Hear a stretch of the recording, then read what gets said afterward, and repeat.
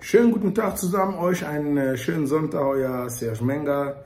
Ja, ich poste momentan mehr Videos als sonst, obwohl ich in der Demokratischen Republik Kongo bin. Äh, das ist für mich ja auch eine Art Ventil, um einfach mal äh, ganzen Frust und Enttäuschung über das, was momentan in der Welt so passiert, einfach mal auch rauszulassen und äh, auch mit euch zu kommunizieren. Austausch ist momentan das Wichtigste, wenn äh, auch einige wichtige, gute Informationen bekommen möchte, denn äh, ich sage euch ganz äh, ehrlich, äh, den, den äh, äh Medien im Fernsehen, sei es ARD, ZDF oder wie die alle heißen, CNN, trage ich für kein Stück. Ja, äh, alle sagen, werden da getätigt, äh, wenn man ein bisschen nachdenkt, denkt man, das kann doch eigentlich gar nicht sein. Ja, aber ähm, worauf ich heute hinauskommen möchte oder worüber ich mit euch reden möchte, die gehen jetzt hin und sagen zu Russland, ja, SWIFT und und und einstellen, Konten von äh, Putin und seine, wie heißt das, äh, ähm, äh, Leute einfrieren und und und.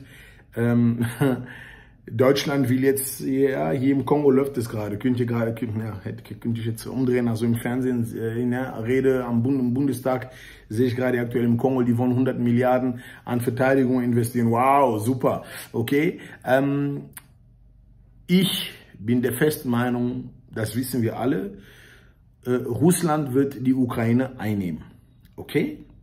Und Russland wird darauf scheißen, auf, an, auf all das, was momentan an, äh, äh, wie heißt das, Abgrenzung gegenüber Russland weltweit stattfindet, da werden die einfach drauf scheißen.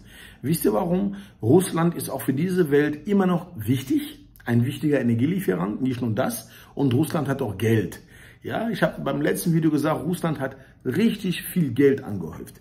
Und die Trumpfkarte, die Russland hat, es hat außer Europa noch einige Länder weltweit bis hin in Afrika, mit dem Russland eine Top-Partnerschaft führt. Äh, das ist schon mal das Zweite. Und das Dritte, Russland hat mit einer der mächtigsten Partner der Welt, das ist China.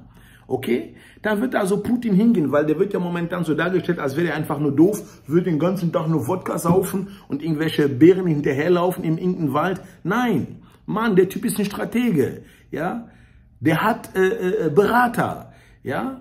Der, die Russen sind überall auf der Welt verteilt, überall haben die ihre Kohle. Versteht ihr? So, und wenn Europa sagt, ey Putin, mm, und Amerika sagt Putin doppelfach, dann sagt der Putin, wisst ihr was, ich habe leider nur zwei Hände, aber ich würde euch sechsmal zeigen. Denn was wird nämlich passieren? China hält doch aktuell auch zu, zu Russland. Glaubt ihr wirklich, wenn diese beiden Mächte sagen mal zu, wir arbeiten eng und eng zusammen und hey China, bitte unterstütze mich, dass ich all das, was brauche, was ich für meine Bevölkerung brauche, zum Leben brauche, Energie und Umtausch, Austausch und und und, dass China dann sagt, nee, mache ich nicht. Mann, China ist aufgebaut auf Milliarden, sogar zu sagen Billionen. Ja, China hat die Welt so in der Hand. Ja, die, Seid, die Seidenstraße, die sie gebaut haben. Ihr könnt euch gar nicht vorstellen, wie viel äh, äh, China und Russland mittlerweile geplant haben für die nächsten Jahre auf dem schwarzen Kontinent. Und da ist es einfach nur eine Farce, wenn man hingeht, bei solchen Mächten, bei solchen großen, mächtigen Ländern einfach hinzugehen mit irgendwelchen dummen Sanktionen.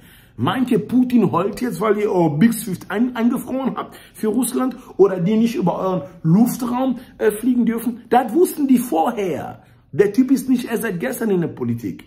Ne? Geht doch hin und sucht doch konkrete Gespräche und gesteht auch einfach mal eure Fehler ein. Aller NATO, Europäische Union und Amerika. Ihr habt doch die Verträge doch auch nicht äh, und Abmachungen gegenüber Russland doch auch nicht eingehalten. Das kann jeder Depp im Internet recherchieren.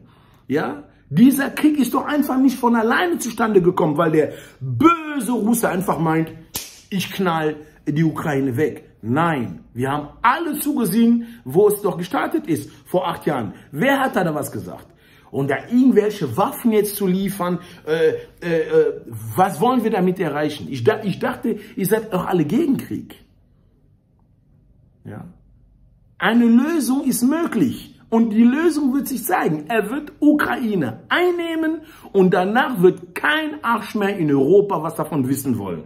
Und dann heißt es, let's go back to usual business. Wollen wir wetten? Ich wette. Wer geht mit? Euer Serge Menger. Ciao. Und nicht vergessen, peace, love, and harmony, and colorblindness.